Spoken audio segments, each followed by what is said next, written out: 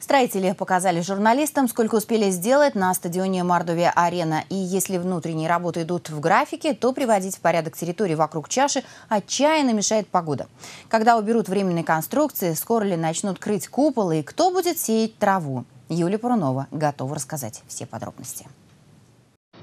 Большая экскурсия для журналистов начинается с КПП стадиона. Людей технику тщательно проверяют. Только после этого пускают на территорию стройки. Стадион Мордовия-Арена готовится к самой ответственной операции – к раскружаливанию крыши. Это значит, что временные конструкции, они желтого цвета, наконец-то уберут и можно будет увидеть настоящий фасад. Пока мы движемся к тому месту, которое у футболистов принято называть «газон», успеваем расспросить главного по Саранскому стадиону.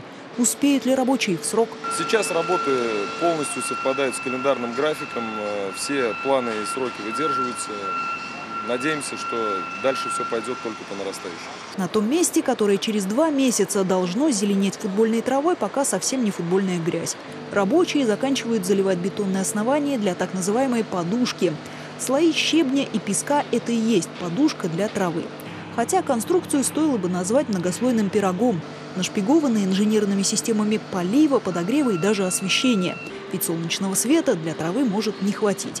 Чтобы она не начала желтеть или даже вянуть, проектировщики предусматривают все заранее. Работы по устройству поля планируются на конец этого месяца работа будет начата, начата с э, устройства инженерных сетей, прежде всего, под поле. Это технические помещения полива, технические помещения обогрева поля, ну и, собственно говоря, дренаж поля. Временные желтые конструкции сейчас помогают держать консоли купола. После того, как сварщики замкнут их в кольцо, времянки постепенно уберут.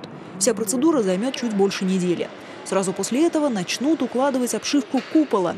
Параллельно рабочие собирают инженерные системы, вентиляцию, отвод дождевой воды. Внутри штукатурят, устанавливают перегородки и стеклянные витражи. Эти работы завершены на 96-99%. Здесь же варят временные трибуны. Они красного цвета. Наш стадион он будет трансформирован после, и есть так называемый э, режим наследия, после, э, в рамках которого планируется использовать этот стадион э, в целях местного населения для развития массового спорта. Саранский стадион продолжает оставаться самым недорогим среди строящихся к чемпионату мира в 2018 году. При этом до сих пор удается соблюдать все требования ФИФА и выдерживать сроки. По контракту дата официальной передачи сооружения в эксплуатацию 27 декабря 2017 года. Юлия Курнова, Сергей Бебинов. Наши новости.